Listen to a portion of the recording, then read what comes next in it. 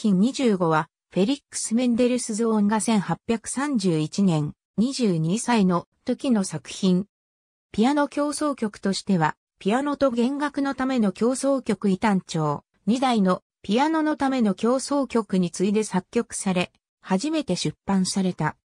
メンデルスゾーン独特の豊かなメロディーと、特に第二楽章アンダンテに色濃く漂うポエジーが、聞く者の心を捉え、第2番に単調と共に人気がある。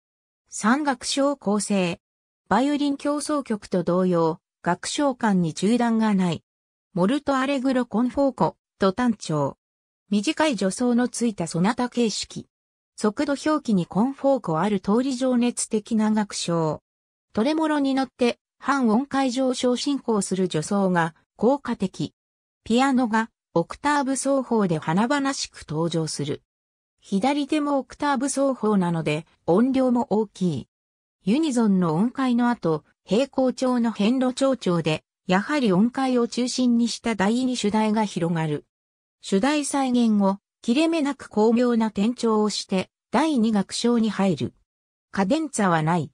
アンダンテ、補聴調。三部形式。チェロ、コントラバスで提示された主題が、ピアノに受け渡されていく。叙情的で美しい旋律が胸に染みる。中間部は、路長調。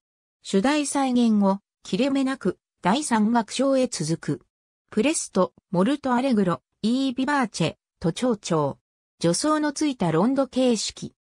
全楽章の同主張で、ホルンのいい音が連呼されると、弦楽合奏が受け、異端調から都庁長に転調して、ピアノの華やかなアルペジョが始まる。ロンド主題の三言語、最後に第一楽章の主題が回帰して華やかに締めくくられる。ありがとうございます。